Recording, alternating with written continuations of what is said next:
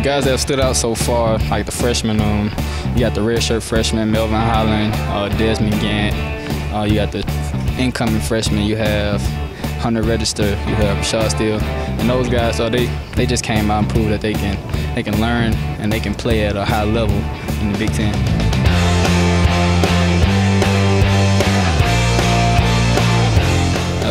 Uh, they, they're big bodies out there on the edge, and uh, one thing I seen the most that stood out that they can, can, go get the ball, they can attack the ball, and they can go up and catch the ball. So that's something that um, you know we've been missing around. You know, other playmakers out there on the perimeter, and those guys have been able to do that.